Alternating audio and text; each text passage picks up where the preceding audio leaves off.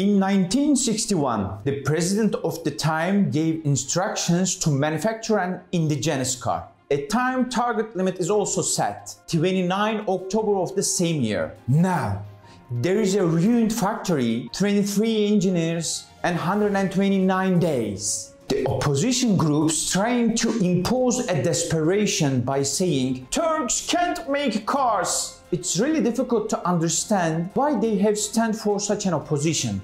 For whom and for what reason? Another interesting point is that the Chamber of Mechanical Engineers leads the opposition, a non-governmental organization of Turkey, not France or Germany. Chamber of Mechanical Engineers of Turkey. Here it is. Listen with your own ears from one of the revolution car engineers. Makine Mühendisleri Odası tam tersi karşı görüş alarak yani karşı bir tavır alarak ve bu projeye karşı durdu. Yani Türkiye'de otomotiv üretimine karşı durdu. Anyway, despite all the difficult conditions, the engineers produce all parts. Engine block and its components, hood, interior design details and etc. With this car manufactured in Turkey, they succeeded the first indigenous car Devrim to be delivered on 29 October. By the way, the Turks manufactured such a car that could compete with the equivalent brands of the time. Both its design, engine and road performance features at the contemporary technology level and even better for some parts. The two Devrim cars were brought to Ankara by train from the factory to pick up President Cemal Gürsel from the Grand National Assembly of Turkey to take him to the ceremony. By the way, only a few liters of gas are placed in the tanks of the cars due to the safety rules on the railway transportation.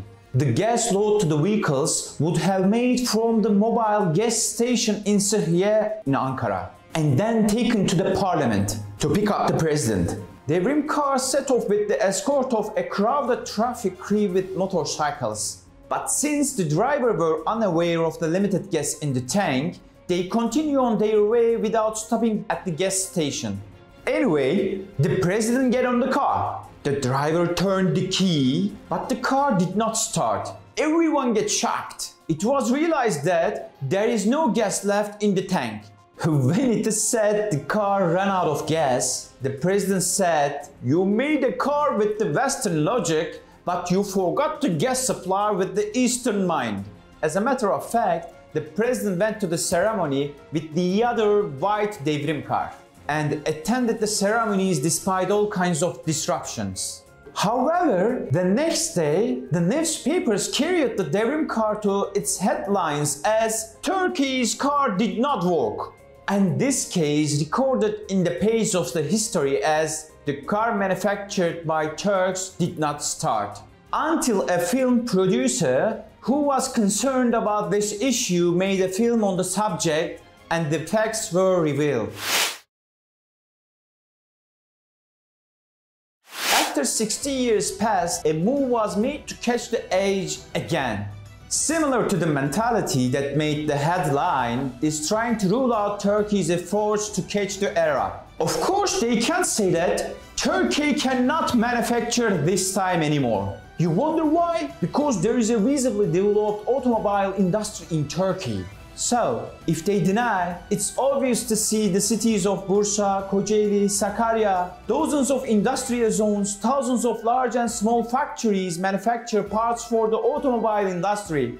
From headlight to air conditioner, thousands of products are being manufactured by the Turkey's industry. And they don't just manufacture for Turkey. In the all cars manufactured in the world, at least one part is manufactured in Turkey's industry.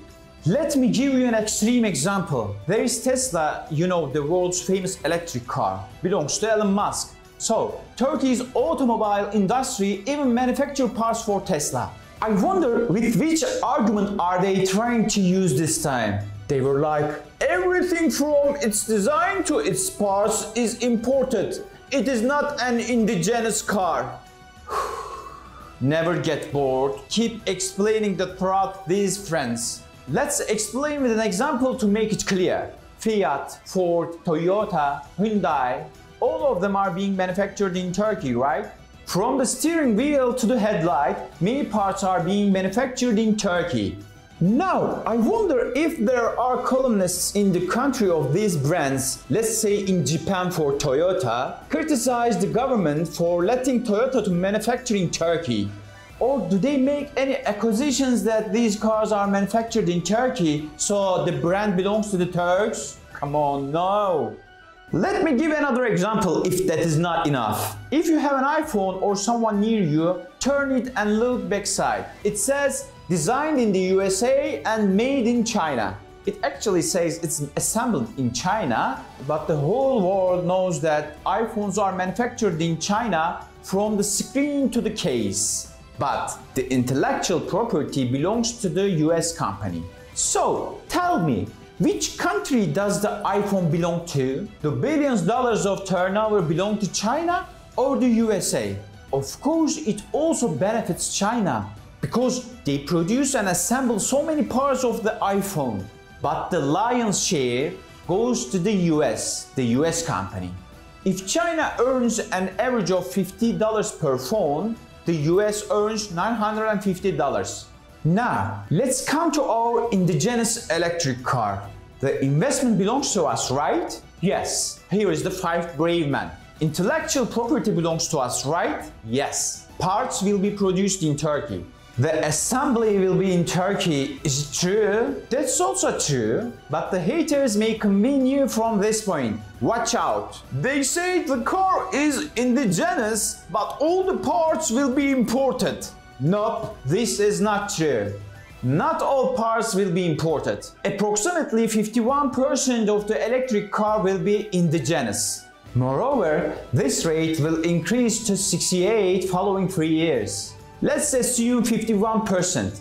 Let's initially consider 51% is indigenous. What about remaining 49% of the car? Now, listen carefully here. The top management is progressing so professionally. They set up an agreement with the foreign companies to produce parts which cannot be produced by the local industry. The management says them, come to Turkey and set up your factory here I'll be your partner too. Let's produce together. So now, let's summarize. Investment made by Turkey, investor Turkish companies, intellectual property is national, parts will be produced within the country, assembly will be indigenously. How was the situation on iPhone? Intellectual property owned by the US, 100% production and 100% of assembly is realized by China. In indigenous car, intellectual property owned by Turkey, 68% of production and 100% of assembly will be realized by Turkey. Can you see the picture? We sold almost everything within the country. Indigenous. For God's sake, I really wonder if a columnist in the US says this iPhone is China's property, not United States because most of the executives are either Indian or Chinese. If you ask about production, it's already made in China. Probably no one will care. Or the columnist makes everyone laugh at himself. The trend shows that this time the good ones will win, not the bad ones. It won't be an automobile industry story that ends up with frustration for the next generation. It will be the story of tech move that is started with pride.